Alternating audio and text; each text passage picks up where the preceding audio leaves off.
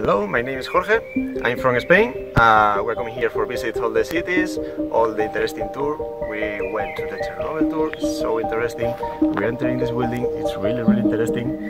And I think so that if you have the possibility to come here and visit this tour and just enjoy, enjoy so much because it's really, really interesting.